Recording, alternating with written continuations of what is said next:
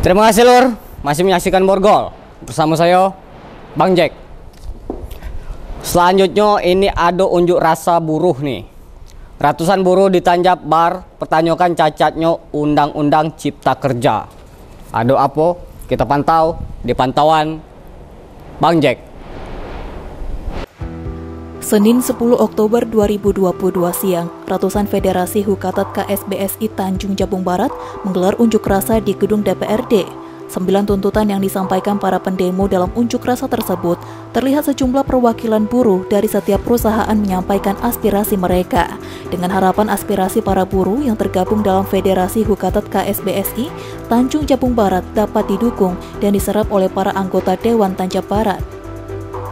Lebih kurang satu jam berorasi, akhirnya para pendemo dari Federasi Hukatat KSBSI Tanjung Jabung Barat disambut oleh anggota DPRD Tanjung Jabung Barat Hamdani.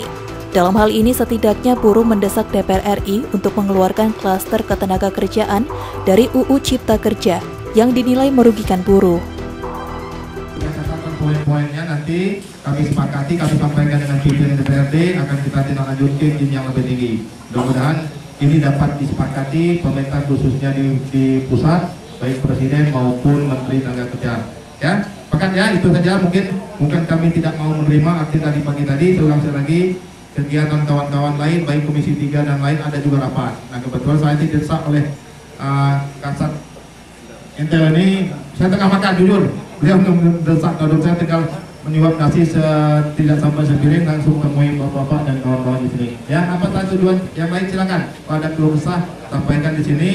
Bagian sekretariat akan mencatat apa saja poin-poin. Kalau memang sudah ada itu sebagai bentuk surat atau tertulis silakan sampaikan. Kami tampung.